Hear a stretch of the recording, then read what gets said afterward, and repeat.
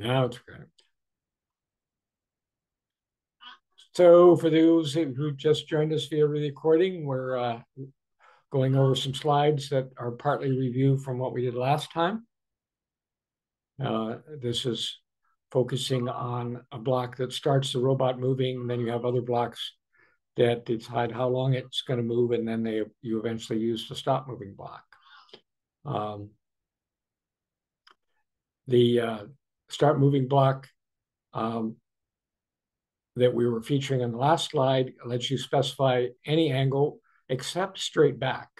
There is a trick that you can use that uh, that causes this block to go straight back, but it's a lot easier to use the alternate block uh, that shown at the bottom of the screen where the cursor is. If you want to go straight forward or straight back, use start use this block. If you want to uh, move with a curve, then use this block and use the stop moving in either case when, when you, you want the robot to stop. Um, here's a, an example of from training camp one that um, is a bit confusing. These this move forward and move back block could have just as easily been plugged in directly to the blocks up here, but this is demonstrating that you can have a series of blocks that get executed when the program starts, which is the same as when you um, push the, the big button at, at, the bottom of the brick.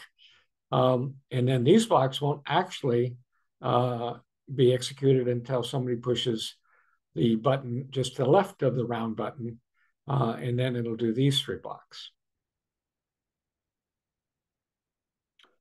Um, in addition to the pink blocks that are in the main menu, uh, there's at least three more that you get by navigating to the lower left of the screen, finding a little tiny version of this thing that shows little blocks with a plus sign. This means you want more blocks. It then gives you a choice of about six different kinds of blocks. If you want more movement blocks, you click on that and it adds to the menu, but not with its pink friends. It, it adds it to the bottom of the menu. So you or the kids have to remember to scroll down if they want these additional blocks. Um, this one is a different way of controlling a turn. If you if the two numbers here are the same, it will go straight because you're telling it the, both wheels to go the same speed. But if you make the left uh, wheel go faster than the right wheel, it will turn to the right. To make the right wheel go faster than the left wheel, it will turn to the left. Um, not too often you need this, but it's available for special cases.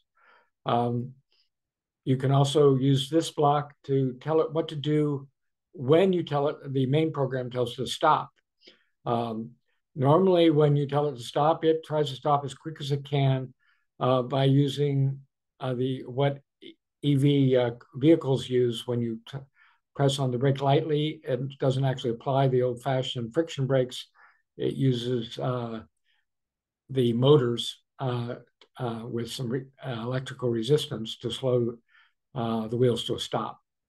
Um, if you say coast instead, then when you give it the stop command, it will continue forward based on uh, whatever momentum the robot has in that direction.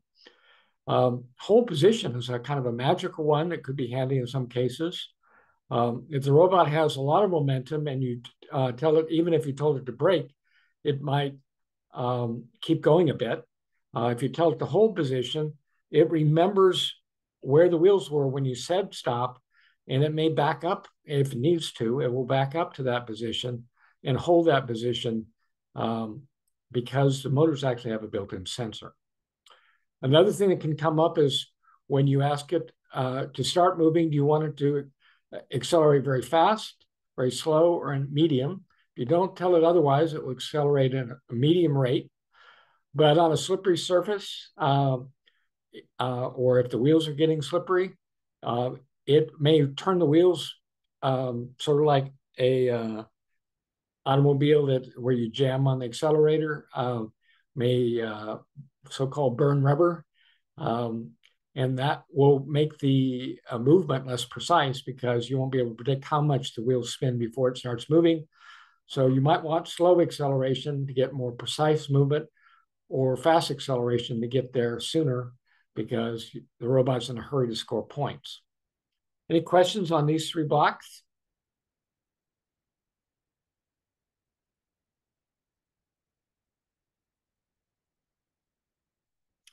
Uh, last time we interactively talked about uh, the built-in gyro, uh, where we say even though when you drag this block out from the menu, it typically says pitch, uh, you almost always want yaw because you want to use the gyro to control turning left or right. And yaw is the technical term for measuring the angle of, of turn.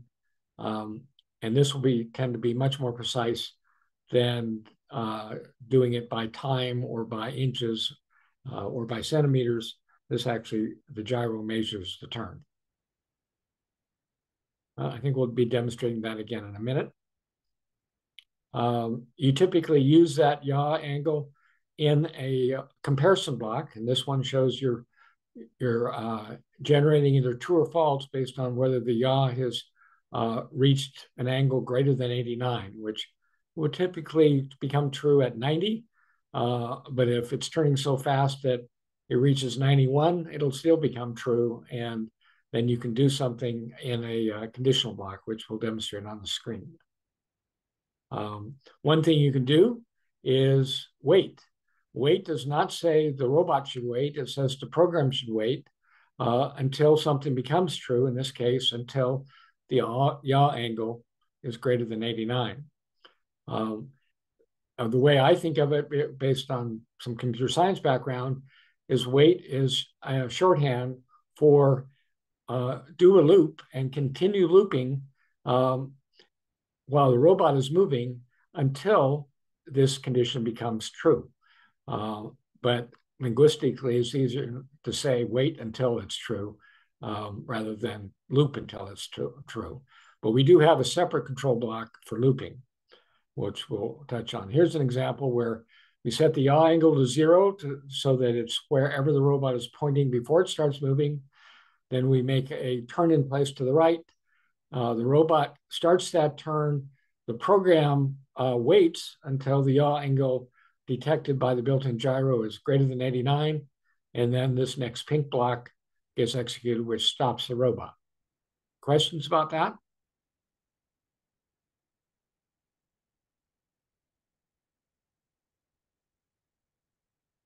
So here, here's all of that uh, with a little bit more context, uh, where we set the movement to 20%. Uh, we use those same, uh, except in this case, we're, we're measuring pitch. I think I should change the slide. Pitch is legal in this language, but um, that would assume that we're somehow measuring the robot pitching up to climb a hill, which is not too common on a flat playing field. But uh, you may want to design a challenge for the kids to actually measure pitch.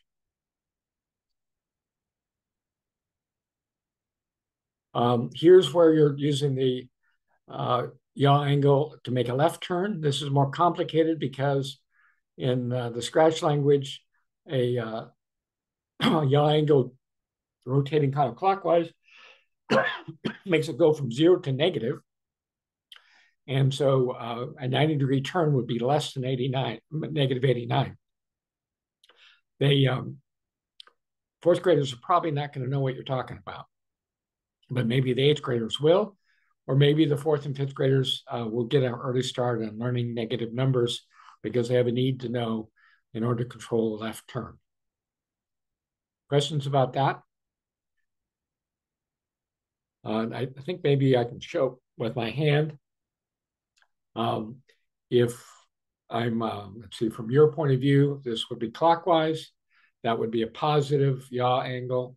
Uh, this would uh, be uh, counterclockwise, and that would be a negative yaw angle.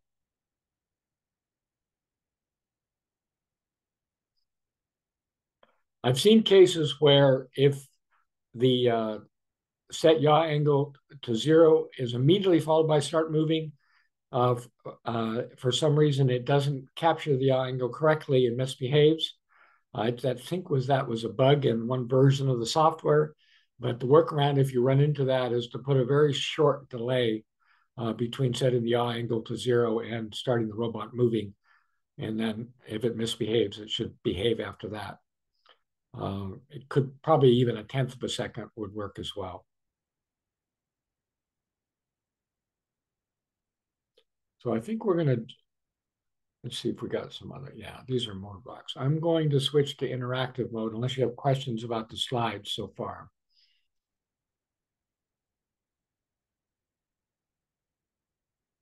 Okay, so let me just stop this share and go to sharing Spike Prime.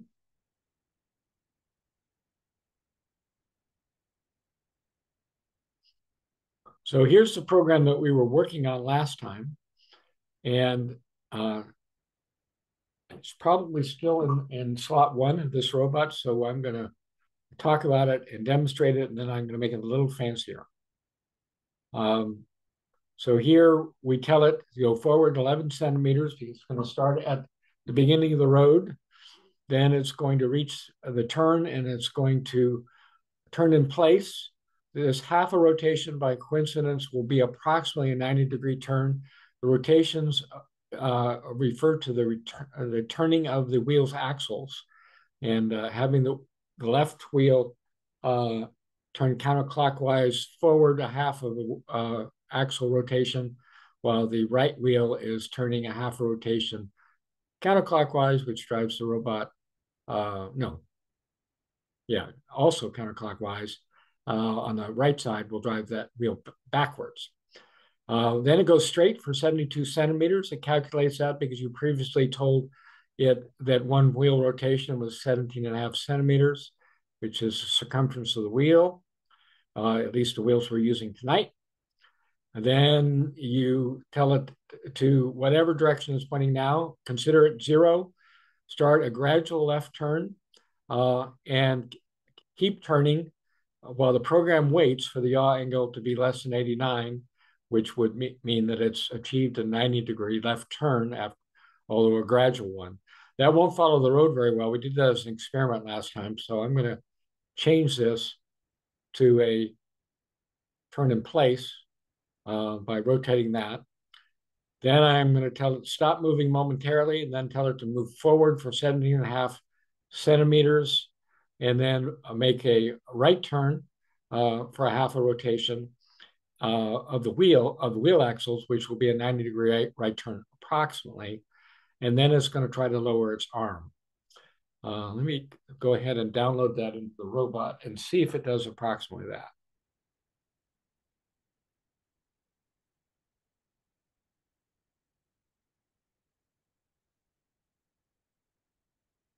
Oh, we lost our connection to the robot, so I have to reconnect it up here.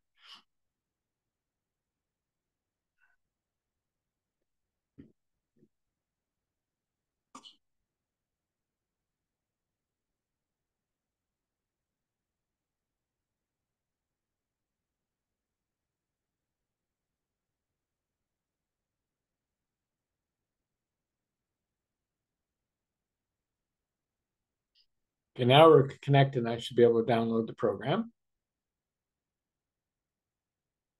Okay, it's downloaded. Now, if I stop to share, it should make the map big on your screen.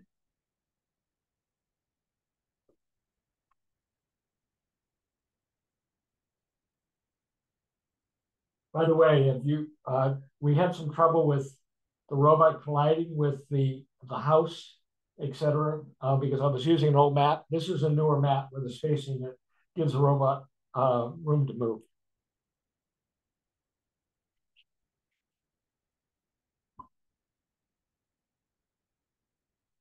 Ah, still got caught up.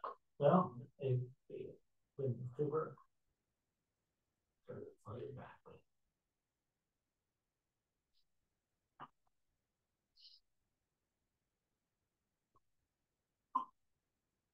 There we go. That's better. So it it's going as straight as it can without uh, any light, detect, light detection, but it overshot. So we need to make that run down field shorter. And we measure that. I think this map has different dimensions than last time. So the map. So I'm getting 64 centimeters.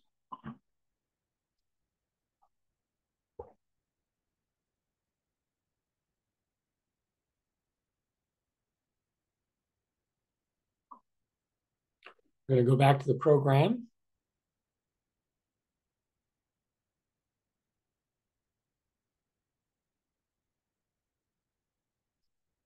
And I'm going to change this to 64. So 72 was about right for the mat we used last time, but different mat means different dimensions.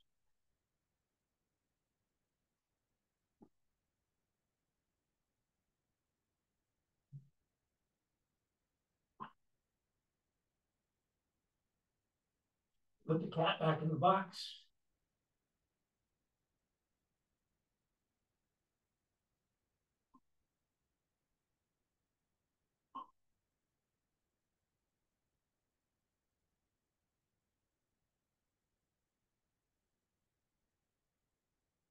Oh, almost got the cat correct. Any questions about what the program did, how it did it?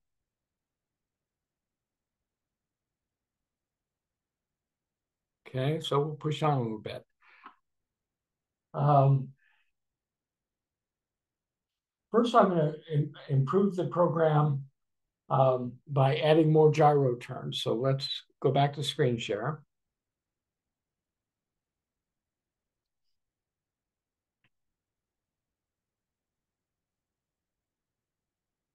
So we have this uh, gyro turn, which is the second turn after it ran downfield for 64 centimeters.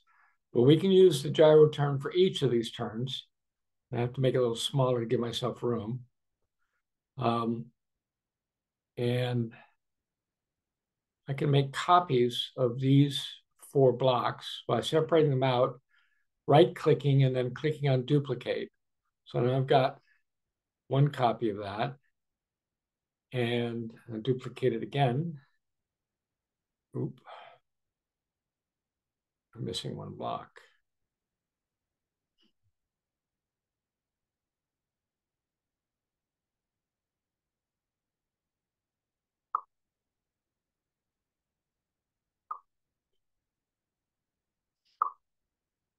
Okay, now why do I need three copies? Because I want this first turn to be gyro controlled. So I'm going to separate this, go straight, and toss away this approximate turn where it uses a half rotation. And then I'm going to plug this in. And then put the, this one here. But this turn should not be to the left. It's the, the very first turn on the mat. That should be a right turn. So I'm going to change this all the way around to here to right 100. And I need to change this to positive uh, 89. But it's a little more harder than that because the block we're using is less than. We want the yaw angle, we want the robot to keep going until the yaw angle is greater than 89. So this green block is the wrong one. So we have to reconstruct here. I'm going to take that green block out. I'm going to go to the operators here and find a greater than one that looks very similar, but is greater than. I'm going to put the uh, angle back in there and change this to 89. And it's going to go straight. And now it needs to make its left turn, which is one of the copies here.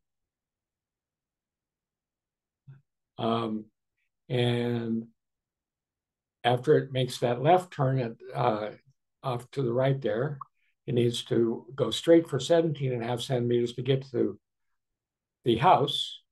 Um, but instead of making a approximate right turn when it gets to the house, it's going to use the yaw angle again. So I'm going to toss this one away and I'm going to drag this down here. I got the same problem though. A right turn would be positive. So, so I'm going to turn this over here.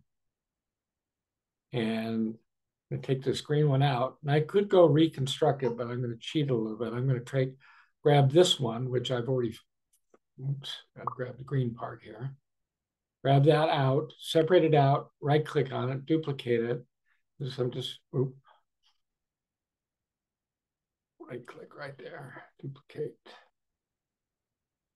Now I got a, another copy of that greater than 89. I can plug it in down here. Toss these guys away. Put this one back. Oop.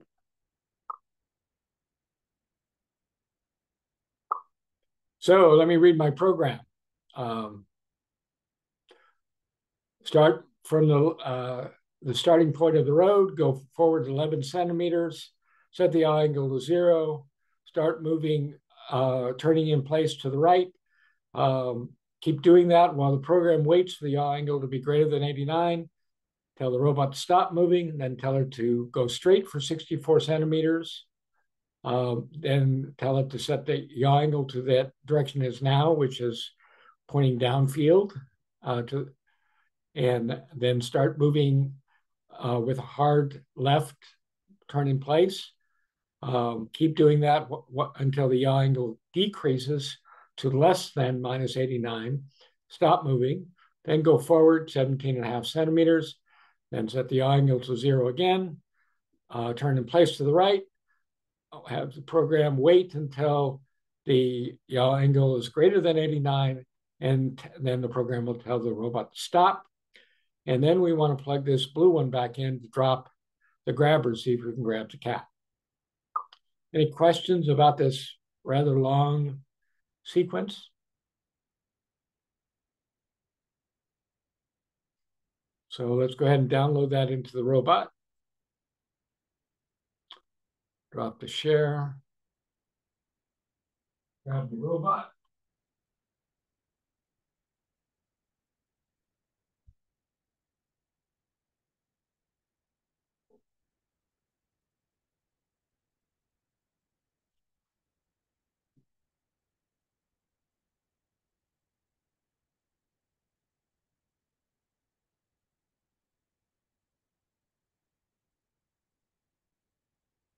Pretty close to grabbing the cat. So we could uh, remeasure that distance. It needs to move forward a little bit farther. Uh, it probably needs to go a little bit less to the left. Um, so you can see we can refine this program. We can probably capture the cat. Once it's grabbed the cat, it can reverse that whole sequence and back up all the way back to the house. Uh, I don't know if we're going to uh, demonstrate that tonight, but I've been able to get this program to be precise enough to capture the cat. The problem, though, is that even though this program works pretty well, every time it runs downfield, it's going to start in a slightly different angle. And if it starts exactly straight and the wheels are, are turning accurately, it might get all the way down here and still be in the middle of the road. But if it starts just a couple of degrees off right here, by the time it gets here, it will be off. It'll make the turn and be off again, and the uh, the amount that's off will compound, and it won't be able to get exactly the cat. And in a competitive environment, you can explain this to the kids to say, "Oh, when we're just having fun, capturing the cat one out of ten times is fine." But at a tournament, if the challenge is something else, not going to be the cat, and you only reach exactly where you want to go one out of 10 times, you're not going to reliably make points in the competition. So you want a more reliable method of navigating than uh, gyro turns and and uh, going as straight as you can without knowing. Um, an analogy that sometimes works with the kids, um, depending on whether you think it's appropriate to blindfold one of the kids. Um, you can have a kid practice walking in a straight line with his his or her eyes open, um, and then blindfolding him and asking him to repeat that. And the longer the distance uh, they they walk blindfolded, the more likely they're they're no longer going to be in a straight line. Uh, and that's the same for robots. The way humans compensate that for that, assuming they're fully sighted, is by adjusting uh, instinctively along the way to keep going in the straight line that they were instructed to go. The way robots can do that is to use light sensors, and that's what we're going to do next. Any questions about that? Okay, so I'm going to switch to a different share screen, which I call the whiteboard. I think I go here first, and then I'll switch tabs.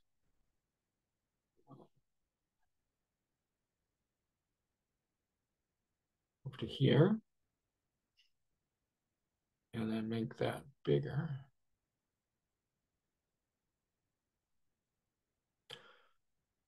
So here's some math. Uh, this could be over the heads of uh, the younger kids, but it, uh, if they learn this math, the robot will behave better. So this is a situation where instead of the kids saying, what's this math good for? Why do I have to know this? Uh, you can actually show them that a little bit of math makes for a more reliable robot. So now they have a reason to learn some math.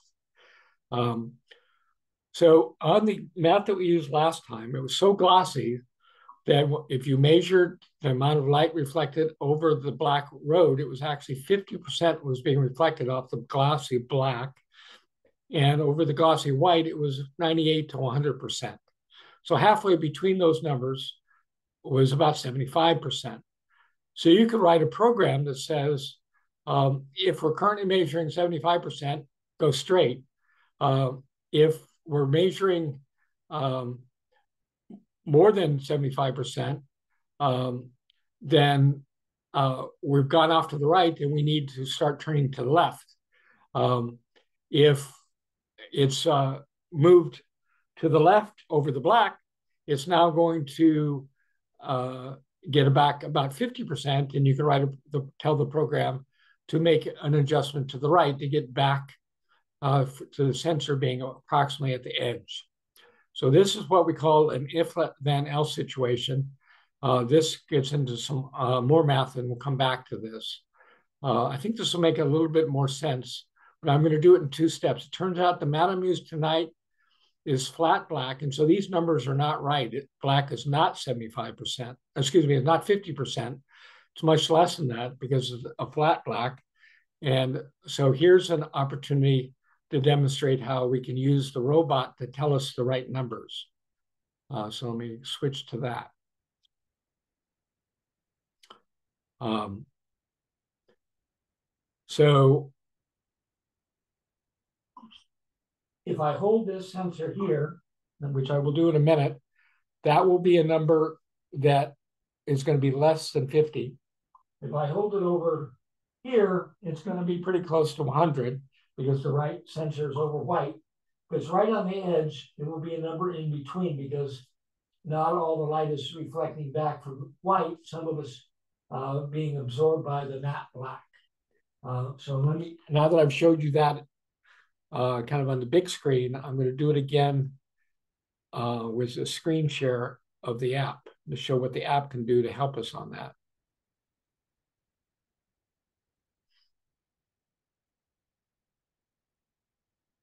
I'll get some more chats. I didn't see them because I was talking. Uh, okay. Sandra asked a question and Tristan answered. Thank you. Feel, feel free to shout out because I, I, I won't always see your chats. Um, so up here towards the top, you see these tiny icons. They are trying to tell us what the two light sensors. The left light sensor is connected to A, the right light sensor is connected to B, and we have three motors. It's giving us some information about the motors. Pretty hard to see, especially on the screen shares. But fortunately, if I click this, it will repaint it much bigger. So it's saying right now, the uh, light sensor connected to B is detecting white, but we don't want to know the color. We want to know the amount of reflection. So that same sensor is reporting that, but in order to get it on the screen, I have to change it right here. I change it to reflect. That doesn't change the program. It just changes what the app is telling us uh, is going on right now. Um, so it says right now it's measuring 99% reflected black. And if you look in the little uh, window where it shows the mat, I'm going to shift it to the left the, so the sensor's over the middle of the road, and now we're measuring 18% reflected light rather than 50%, uh, which was what we would have got if we used last week's glossy mat. So we to to navigate uh, along the edge of the road, we want to think about a number between 18 and, and 100. So let me round that to 20 and say that's a range of 80. If I add half of that to 20, I get 60. Um, so 60 could be a middle number that we can use to navigate. And I'll show you why that's important in a second. Many questions about what this screen is, is telling us? It's right now it's it's saying that the left sensor is detecting blue. Why is that? Because the left sensor is over the lake. If I shift it to the right, it'll say the left sensor is detecting white. Um, if I shift it over the black, it'll say black, the left sensor. Now, if I shift it over the red uh, rectangle, it'll give me the color. So this same one sensor can either be reporting back color or it can be reporting back percentage reflection. But I interrupted myself. What, any questions about what we're looking at right now? All right, so let's go back and use what we think we learned in order to improve the program.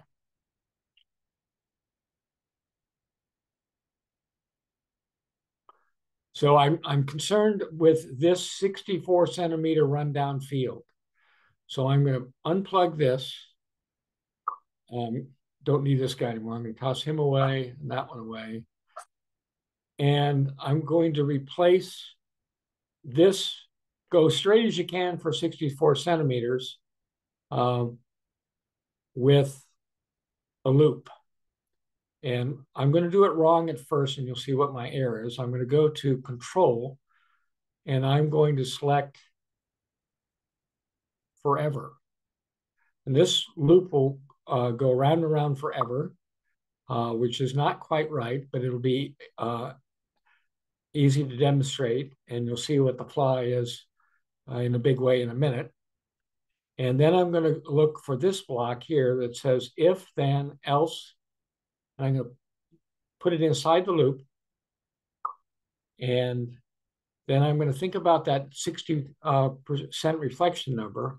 And I'm going to say, I want the light sensor to tell me whether it's greater than or less than 60%. So I'm going to go find the light sensor in, in these blue blocks. In particular, I'm interested in reflected light, the percentage reflected light.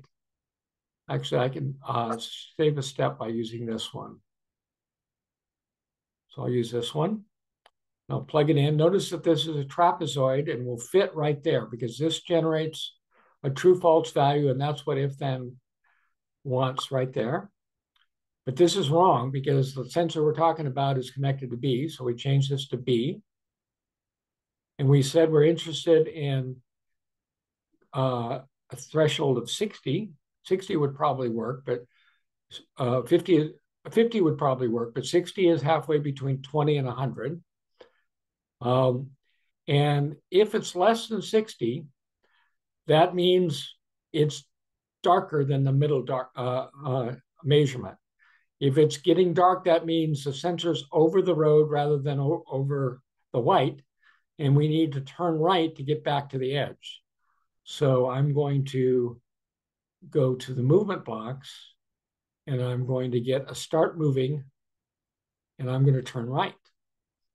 And using this 30% turn, it might turn out to be about right. So I'm going to say that that's what I'm going to use. I can change this percent turn later if it's not behaving correctly. Now, if this is false, that means that it's not true that the reflection percentage is less than 60, so it must be 60 or more. If 60 or more, that means it's starting to get pretty bright. It's not over that dark 20% black. It's over something that's pretty clearly white, and it's need and it's veering off to the right, so we need to turn left. So we get the same block, put it in the else case, but change it to left by dragging this around to left 30. So now it's essentially saying, keep monitoring the, the light sensor connected to B. Whenever it's less than 60, uh, correct to the right. Whenever it's 60 or more, connect to the left. So this is basically saying wiggle down the road. Um, and later we're going to reconnect this because we wanted to make that left turn, et cetera, et cetera. But for now, we'll just leave it off uh, for reasons you'll see, and then we'll fix it, make it better in a second. Any questions about what we think we're trying to make, make this loop do? If you're if you've done been if you've done anything like this before, you're going to anticipate the flaw is it's going to keep doing this forever.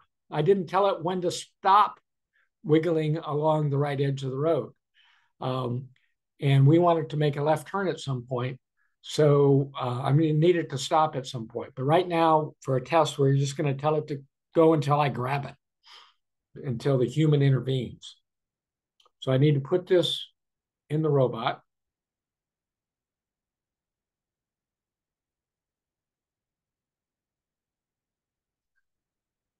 And I need to drop the share.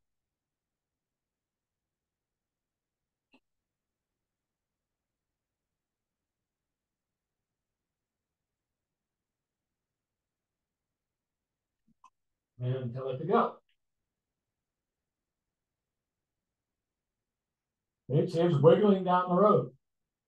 So while it's going slower than it did before a bit, uh, it's pretty precise, but now it's lost uh, the black edge and it's just going to wander around looking for that right value because I told it to do that forever. So I need to improve it further now.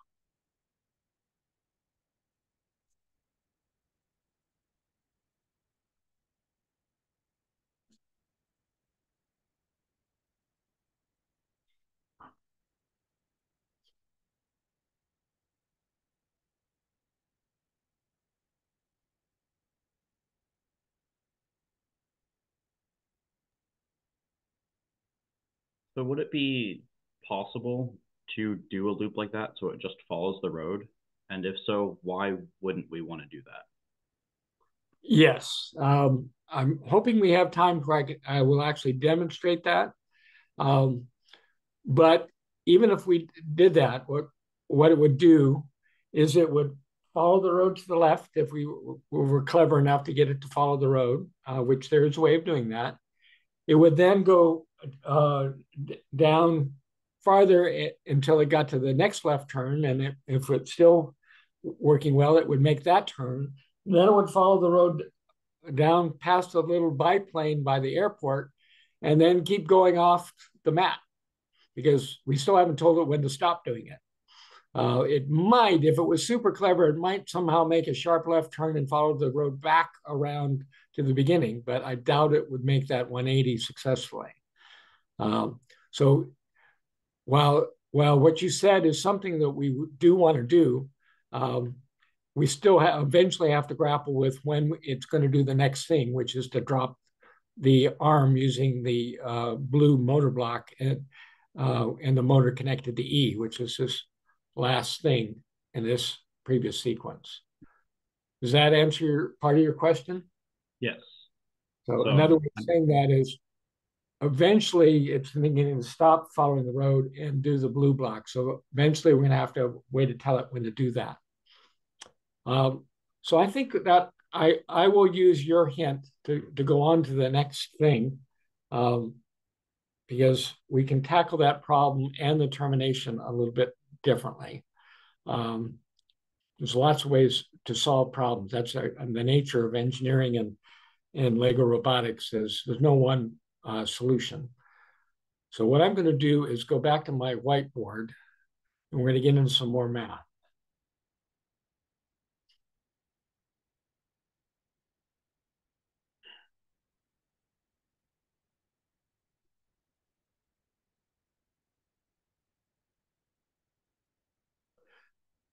So this is math that I developed uh, a couple weeks ago when I was using a glossy mat, but we're using the flat black mat tonight. So I'm going to uh, pretend this is a real whiteboard, uh, and I'm going to uh, drop out of uh, the big screen mode here. I think I can get it to do that if I hit escape enough times. There we go. go to that second slide. It's smaller on your end now, but hopefully still readable. Uh, I can make it maybe a little bigger. Yeah. And I'm going to update these numbers by what we uh, found empirically just a little while ago. Um, 20% uh, means it's over the black and we want it to turn right. Um, and we could use, we use a 30% turn to do that. Um, 60% was the middle ground. And we didn't actually have a case of that in our program, but it, we could have put in a more complicated if that else and said if it's exactly 60% go straight and uh, let's say 99% or, or more,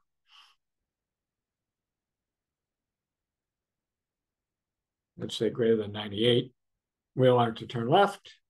And maybe that's a minus 30, similar to what we did. So we can do that with an if then else. If we wanted to cover this exactly 6% case, we need a little bit more code. But we can also do it mathematically. Uh, so we can update this to um, what's between um, 25 and 60, that's 20 and 60, and what's between, what, what do we do between 60 um, and 100? Uh, well, we can kind of construct a formula. We could say if we were to take a value that is as little as 20, um, well, let's say if it's 60 and we subtract reflection value, if the reflection value is 60, uh, that's going to give us a zero. 60 minus 60% reflective zero, which would tell, uh, and if we uh, tell it to go as a zero percent turn, that might be right. Um, actually, before I get to all these cases, I need to show you a trick that I forgot to show you earlier. So I'm going to switch back to the program and show you something.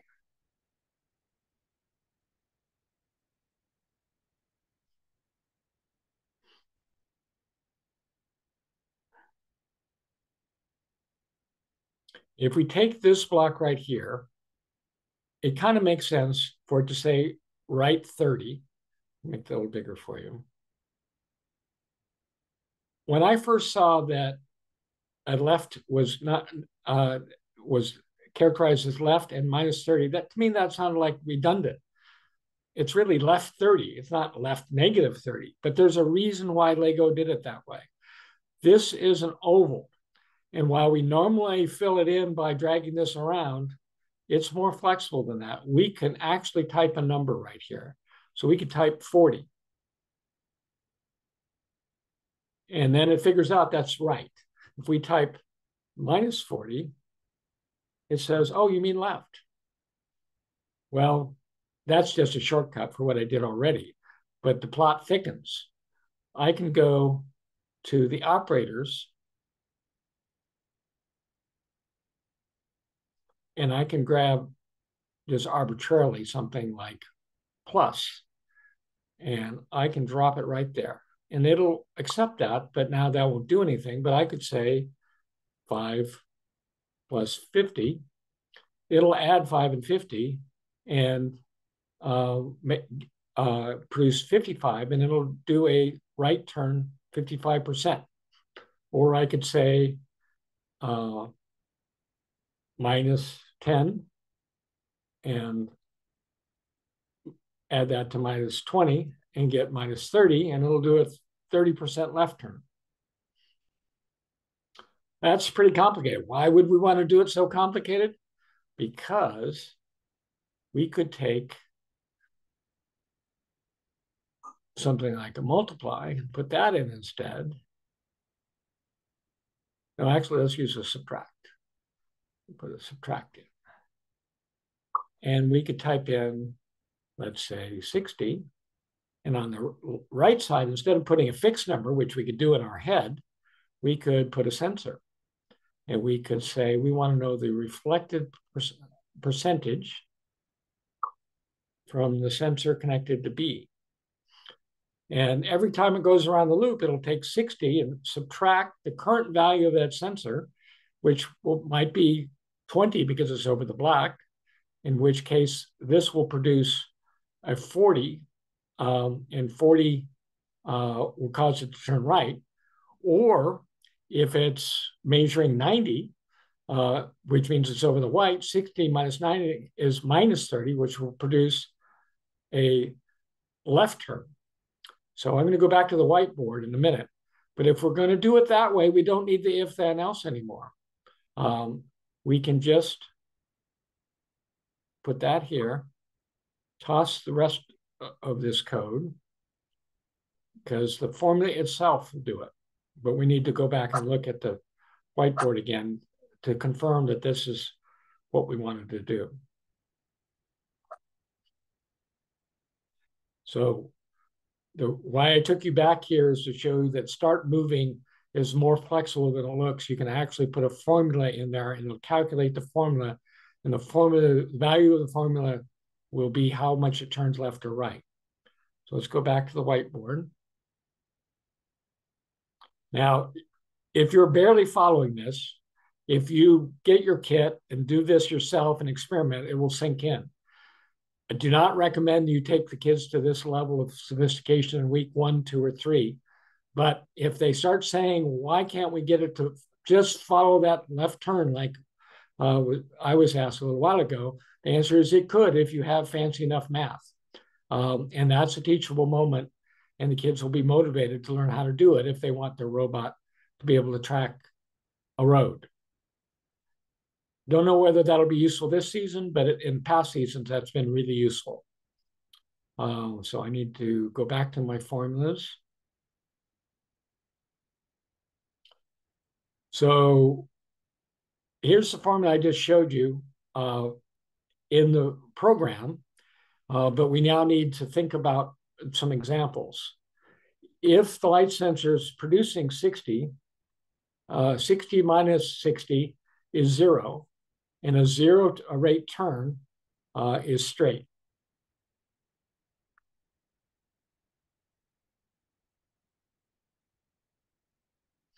If the light sensor is uh, reading 75%, that's more than 60. Um, 60 minus 75 is minus 15. Uh, so it was over the white, not way over the white, otherwise it would have been 99%. Uh, uh, but it's quite enough so it's no longer 60 and it's going to detect that early now because it's continuously measuring the light reflection and it'll start turning back a lot sooner than if it's waiting uh, for a big correction so there should be less wiggling um, if it's if it's reading 90 uh, 60 minus 90 it's way off now and it's it's going to want to make a sharper turn to get back in line and this is not slight left, this is sharp left. And this one is gradual left. Um, and 100 will produce minus 40, which is even sharper.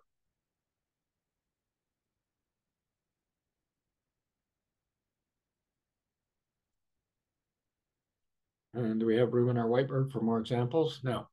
So let's add another example. If it reads 40%, um, it's over the black, maybe not squarely over the black, and the formula will be 60 minus 40, and it'll give a positive number of plus 20, which is gradual to the right. And it'll get itself back over the edge uh, without a lot of wiggling. It'll, it'll just adjust.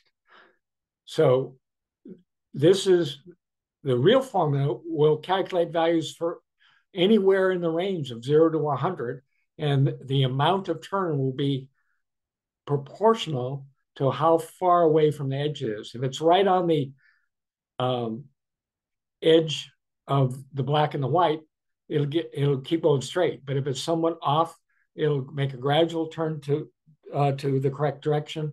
If it's way off, it'll make a more severe turn. Any questions about this rather esoteric theory of why a formula might work? Shall we see it in action?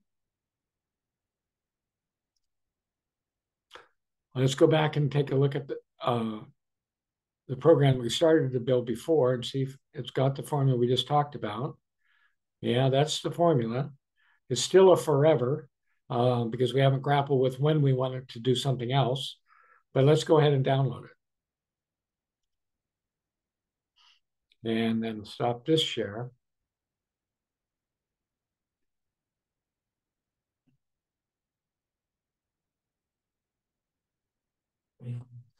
See that okay? Now it's line following. We, we haven't told it to stop line following. Making little corrections. Uh, bigger correction got back on the edge. It's off a ways, but it's making a stronger corrections back on the edge. Uh, I'm holding down the edge of the mat with a stapler. And now it's confused because we didn't tell it when to stop. But the answer to your question a little while ago uh, uh, is yes. You can have a program actually track that turn, but it requires, well, at least my solution requires a formula.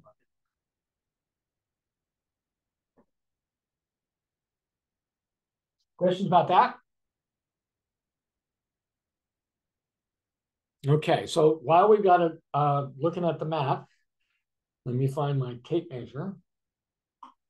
Oh gosh, where did I put it?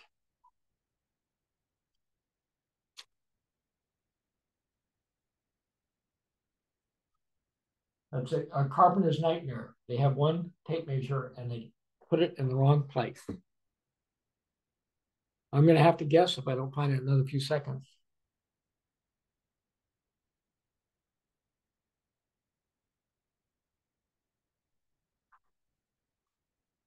Okay, we're going to guess. Um, so downfield before was 65. Um, a left turn is probably going to use another five centimeters. Um, and then in front of the uh, house, I might be another, did we say it was another 25? So I'm going to get 65 and 5 is 70, 25 is 95. So maybe 95 centimeters. That's my guesstimate because I can't find my tape measure. So I need to tell it how to do that. And this is going to be a little tricky, but bear with me. I'm going to go back to the program.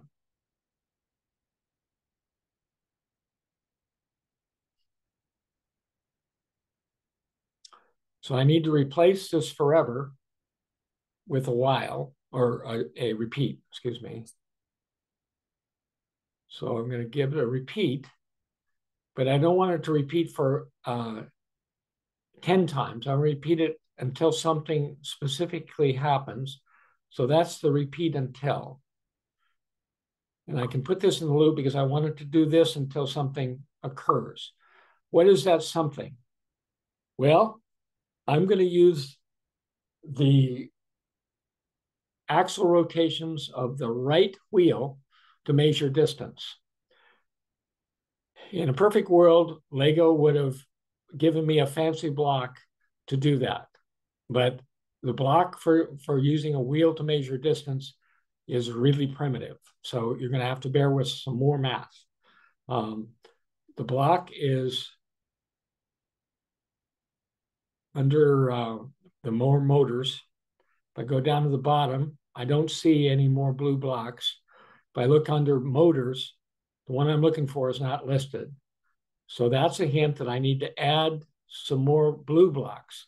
Remember this icon I showed you in the slideshow? That it was in the upper right of the slide, but on the screen, it's in the lower left. It's really tiny. And I click on it. Now it gives me six choices. And I could say I want more movement blocks. Those are the blocks we talked about on the slides. But in this case, I want a motor block, um, a bunch of more motor blocks. So I click on that, and then I X out of this. And now if I scroll down to the bottom, I should find some more blue blocks. There they are. The one I'm interested in is this one here. This is the number relative of relative position. Very esoteric, so you're going to have to bear with me for a minute. I'm going to, I said the right wheel, and the right wheel is connected to D move this up so you can see that on the screen. I want to use the right wheel to measure distance. The left, you could use the left wheel. Uh, and somebody asked me, why did I use the right wheel? But first I want to show you the success with the right wheel. And then I'll tell you how you could have done it with the left wheel, but it's more complicated. Uh, so suspend your uh, judgment on that until we have time to talk about that even more esoteric situation. Now, what is relative position? Relative position is rotation of the axle relative to something else measured in axle degrees turned. In other words, one turn would be 360 degrees. So I'm going to need to tell it that the relative position should start out, oh, not that one, as zero. And that would be after we made that first right turn. I want to say now, uh, consider where you are now to be zero. Um, not where you started, but where you are now after that first right turn is zero. Then I wanted to go um, 90 centimeters. But now it's not going to do the math for me anymore. So I'm going to get get my uh, calculator on my phone. And I'm going to say, I'm going to go 90 centimeters. And each turn of the axle is 17 and a half. What we said. Scroll down, make sure that's right. Do I remember that right? Yep. So 90 centimeters divided by 17 and a half um, is 5.14 uh, turns of the axle. But relative position is in degrees. So I need to multiply that by 360.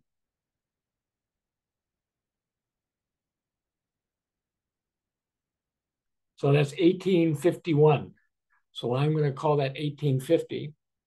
So I need a greater than comparison, similar to what we used for the gyro before. And I'm going to put that in here. And I'm going to say the, the relative position needs to be greater than 1851. I hope I did the math right. So that says instead of repeating forever, monitor that right wheel uh, in degrees, starting at zero. And when you get 1851 degrees, that might be about in front of the box where the cat is hiding. Um, and then instead of doing this, we want to stop. So we need the stop block here. Okay. What we actually want to do is make another turn and then uh, drop the, the cat grabber. But for, for this experiment, we'll just stop to see how close we got because I didn't use a tape measure. This is not going to be right the first time. Questions about this code, what the code is supposed to be doing, or would you prefer just to see if it actually does it? Nobody shy out, so I'm going to keep going. Okay, I just downloaded that. I'm going to stop the share. Should make that big on your screen. And then about to go.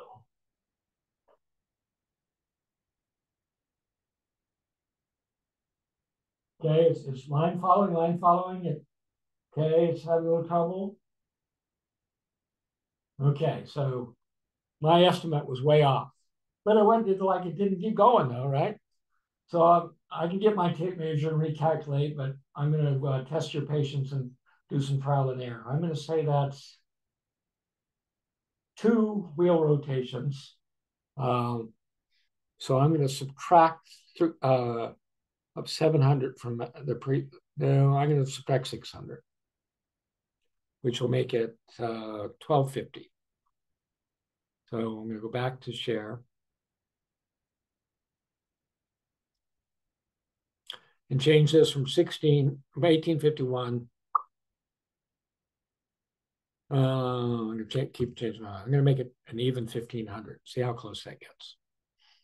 Again, I should be doing this more carefully with my tape measure and recalculating, but we'll see how close we can get.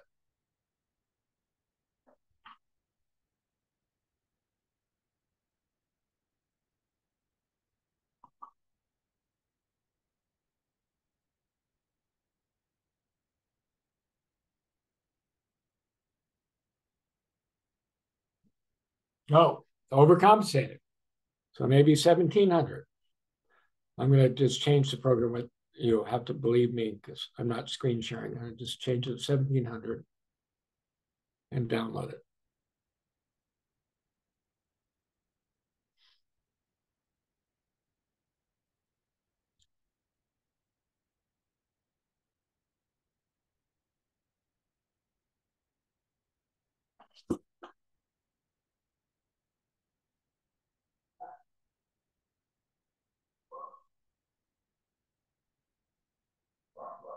Okay, pretty close. So let's boost it a little bit. I'm going to take it up to 1760.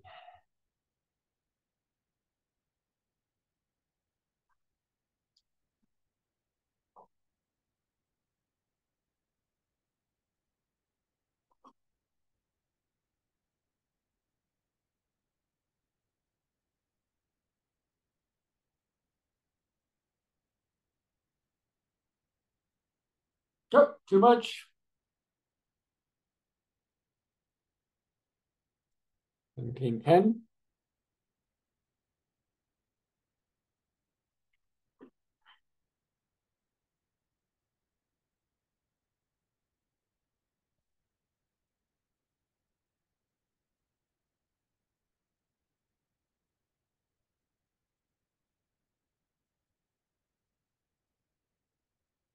Not pretty close. Okay. We can clearly keep fussing with it, but I, I for, I'm going to go to the next step um, where I actually wanted to make the, we don't need the left turn because it did that automatically for us from line following. So I just need that final right turn. So I'm going to take these blocks and plug them in at the bottom and scroll up and say, after it stops, I wanted to set the angle to zero, turn right, and keep turning until it gets to greater than 89, and stop moving, then drop the uh, the blue arm to try to grab the cat.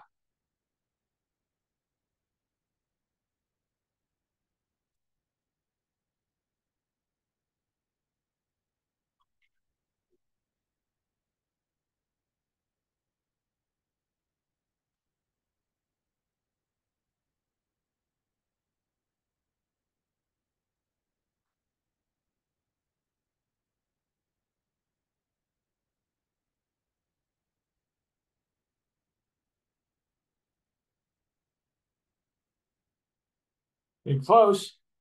The main main error is it didn't move forward enough. So let's have it go forward after it makes the right turn before it drops the arm.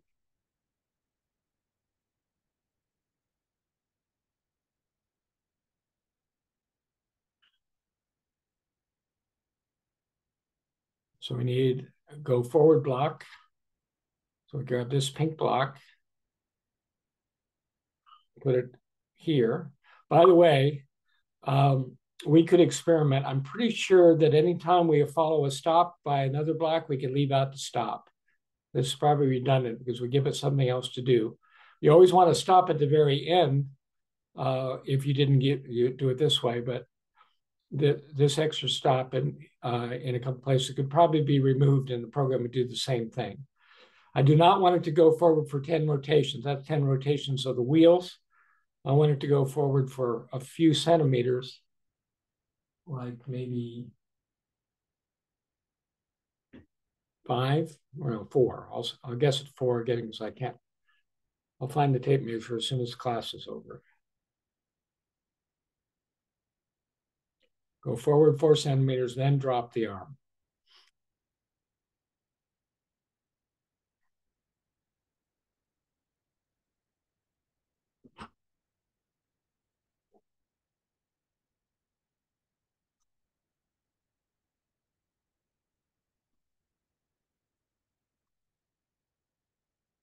Nope. Sorry, I didn't stop to share.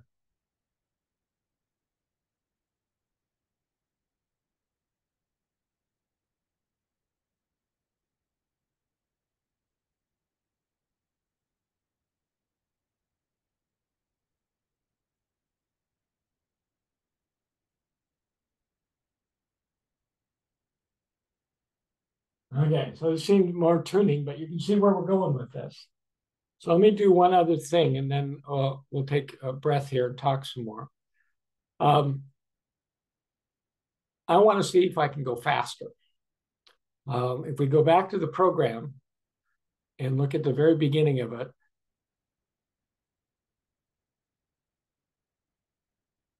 it its movement speed is 25%. Now that it's line following, will this line follower work at a faster speed? Let's try boosting it to 50%. Um, once the program, if we got the program more reliable than it is right now, if it's get, doing it every time, the next thing the kids are going to want to think about is, can I get these points faster so I can go on to the next mission and get even more points? So at first, accuracy is a priority, but once you get accuracy, you can consider going faster.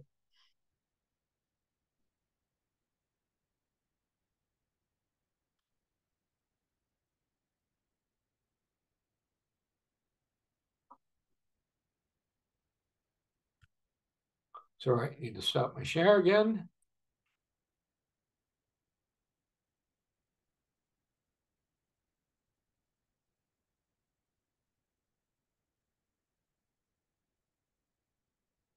Okay, so it needs some tuning though.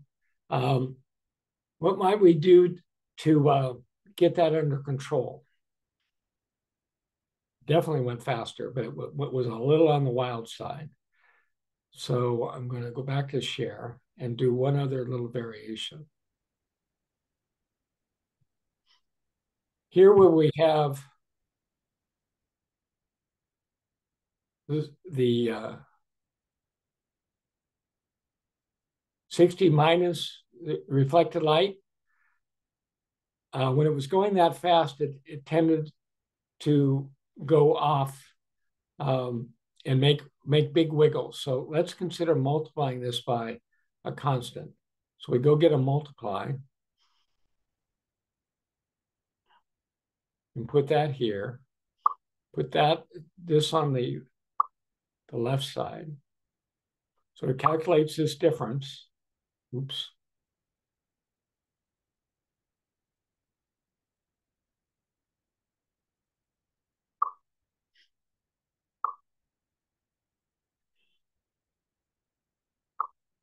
I did it again. Sometimes placing blocks on blocks is tricky. Try it over here. There we go.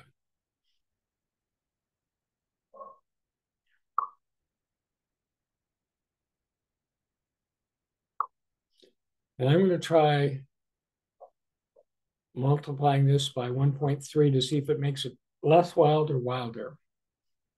So the difference is a certain speed, but I'm going to magnify the, the speed by, excuse me, a certain rate of change of turn based on the subtraction. And I'm going to magnify that calculation by 30% by multiplying by 1.3.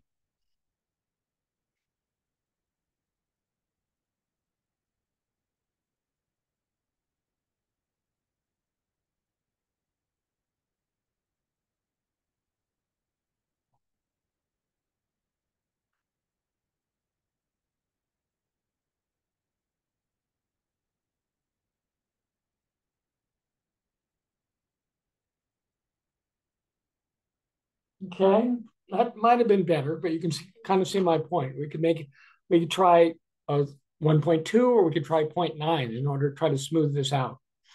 Um, so adjusting the formula to try to get uh, back to a, a, small wiggle but fast motion. At 25%, the wiggle was pretty nice, uh, not too much, but the robot moved kind of slow. Um, Anybody want to suggest an experiment that we could do uh, now that we've gotten this far?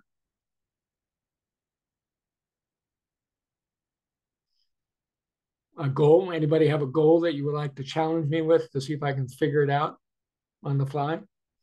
What about navigating using the red dotted lines versus the solid black road? Ah, okay. That's a fair challenge. Let's see if I can do that.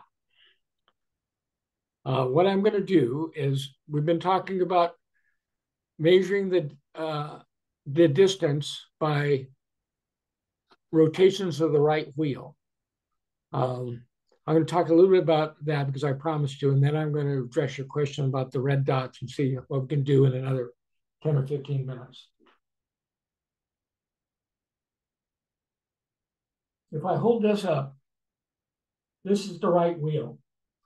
When it's driving the robot forward, this turns clockwise. And this, if we told the relative position to be zero, now it's 45, excuse me, 90, 180, uh, 270, 360, now it's 400 and some, etc. But think about this wheel. If this wheel is driving the robot forward, um, it's going to turn this way to drive the left side of the robot forward. So this is going to be minus 90, minus 180, minus 270, minus 360. We can still use that, but now we're going to have to have a, a, a more complicated test to measure an increasingly negative number until it gets so negative that we want to stop. So that's why I chose the right wheel. It makes the math a little simpler, but either wheel could work that that was my question, not your question. So let's talk about your question. Uh, what I actually want want uh, want to do is a little different than what you might have been thinking. I want to use the left sensor to follow the left edge of the road and the right sensor to count red blocks. Instead of using that complicated how many degrees of a right wheel, I'm going to count these blocks. And when it gets uh, to the last one, I'm going to have it make the left turn. Uh, so the question is, how do you how can you line follow with one sensor and count blocks with the other sensor?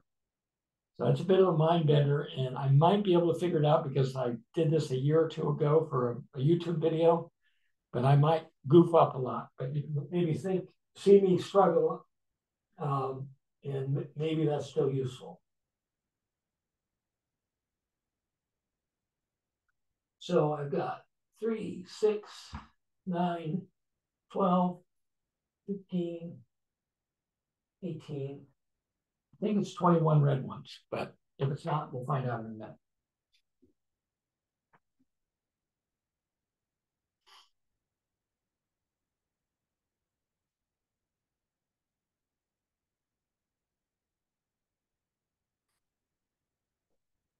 So I'm going to get rid of this condition. We're not going to do it based on degrees and relative position. We don't need this set the relative position to zero anymore.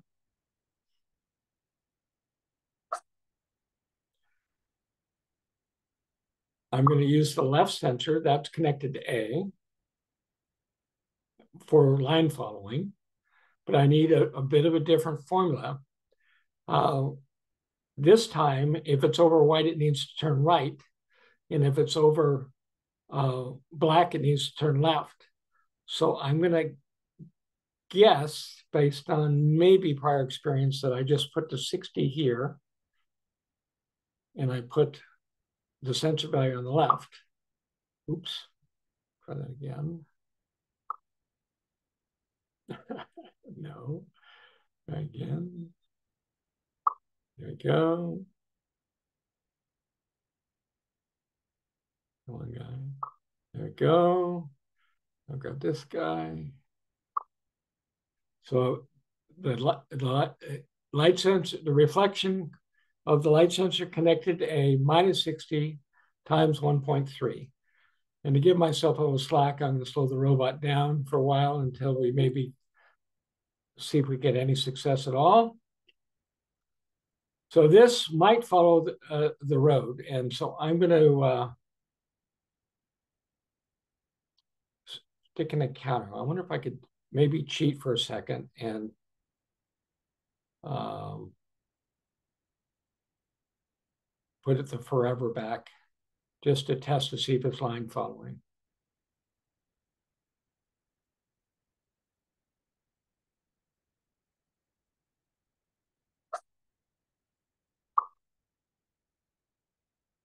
I'm going to see if it line follows the left side with this formula before I measure the distance.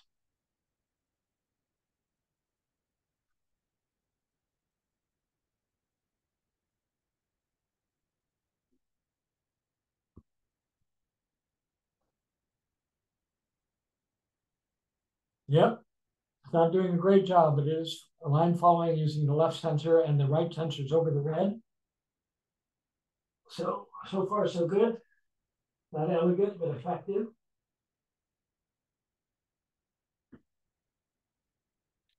So now I need to think about code for counting.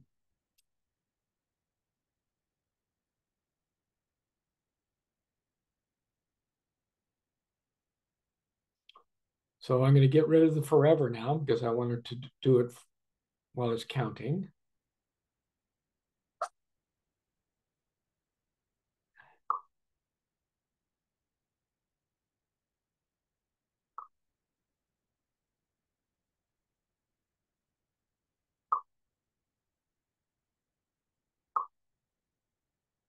Now I'm going to do it the wrong way first um, to kind of just show how the problem solving can be kind of incremental. I'm going to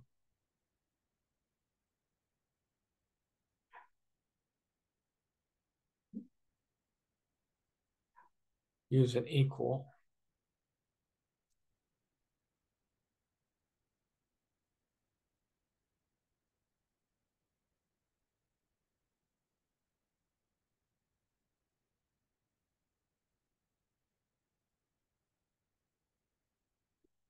No, wait a minute. I think there's one under light sensor I want. I think it's this one I want.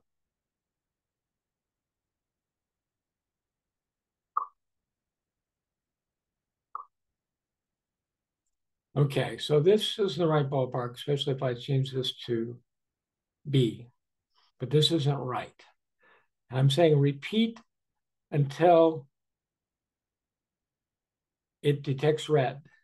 I think what that will do is it will go until it finds the first red block.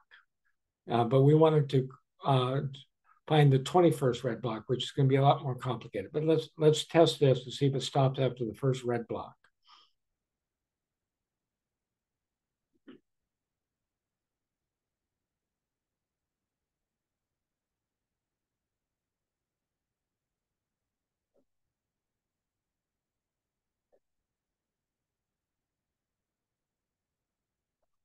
Yep. So what it did is that final mo motion after it found the red block, um, which I could have just told it to stop, but I, I didn't. So it, it made it more complicated and dropped the hook there. So now I have to think, how do I count?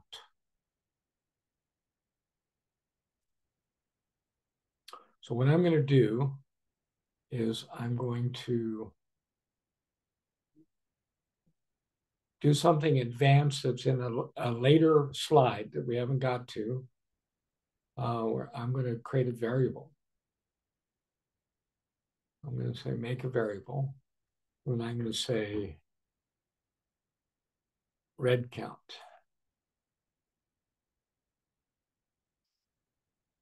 And it's put that in my palette over here. And I'm going to set red count to zero in the program. And then I'm going to put this, put an if then else in here. This still won't be right. Um, but I'll get a little closer.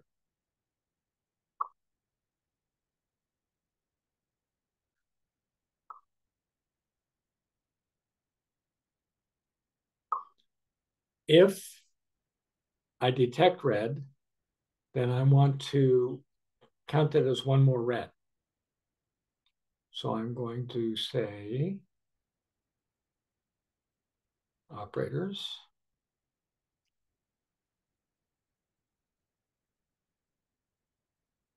And first I need the variables.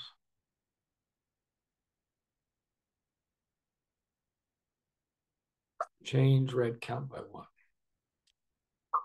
So if it detects red, I want to uh, change red count by one, which is the same as add one to what it already is.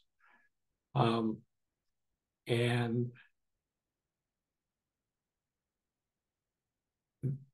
then if it goes just a little bit farther, it's going to see red again. So what I wanted to do is uh, do an in, internal repeat. So I'm going to add another repeat. It's going to get complicated. And probably after I thought about it, I could think of a simpler solution. But I'm going to repeat after adding one, because I found red, I'm going to keep moving forward by duplicating this block, putting it in here. But now I'm, I want to keep going until it's not red anymore. So I'm going to say,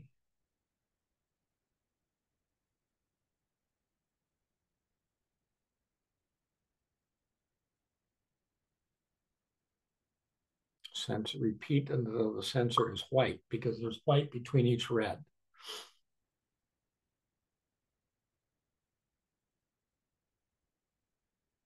So, and we want to, we're still talking about B, the B side. So repeat the start moving until we find white. And then once uh, we've found white, then it will drop through here and it needs to loop back. So this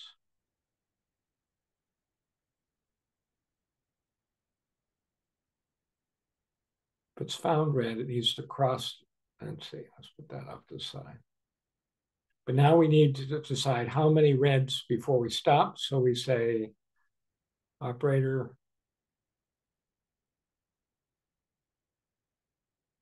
uh, we'll say equal,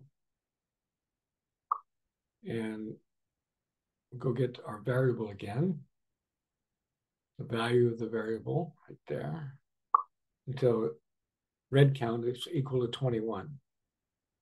So set red count to zero, repeat this outer block until red count gets to 21. Um, if we see red, um, then increment it, the count of red, uh, but to avoid uh, getting red immediately again, we're going to uh, follow the line until it gets to white. Um, and if it hasn't uh, done red, uh, found red yet, it's in the white and it needs to keep moving until it finds red. So this is this does go back here. So if we haven't found red yet, then uh, follow the line uh, using the left sensor. If we have found red, count that, and then uh, keep going until we find white. This, this may not be quite right, but it's in the ballpark. So I'm going to download it and see what it does.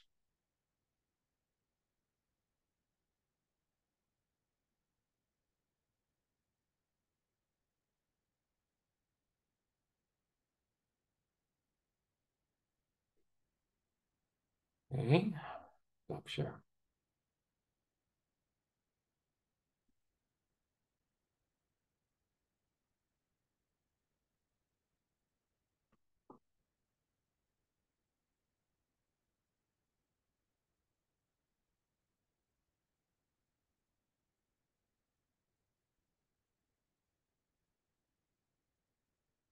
Did it. Okay.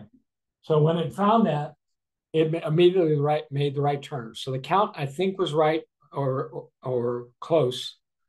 So even though we're gonna only have one minute left, I'm gonna make one more change and then let you all go back to your evening.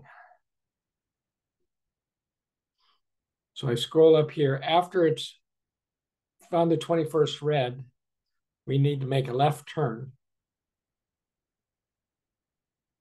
So I'm just going to scramble to put that back in, that some old code we had before. Um, and I'm not going to use the gyro turn because I'm in a hurry. Um, I'm going to make a hard left turn, not in the loop, outside the loop. Um,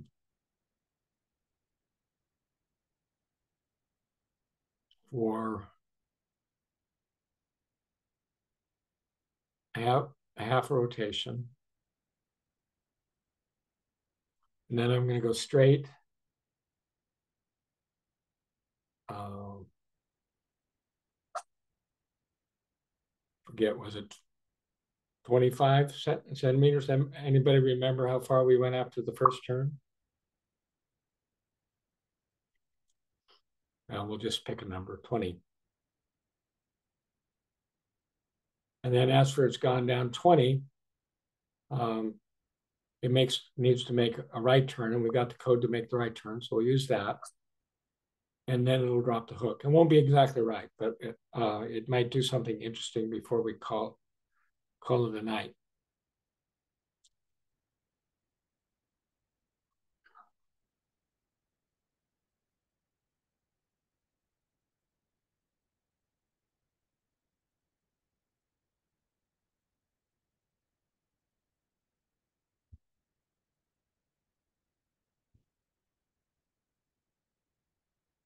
Count, count, count, count, count. Line following, oh, it's getting a little wait, wow, counted twenty-one. Okay, it turned too soon, but it did, did do so after twenty-one. So we would need it to run downfield a certain number of centimeters before it turned left. Any questions about what, how we did it, what it did, and why it's still not quite right?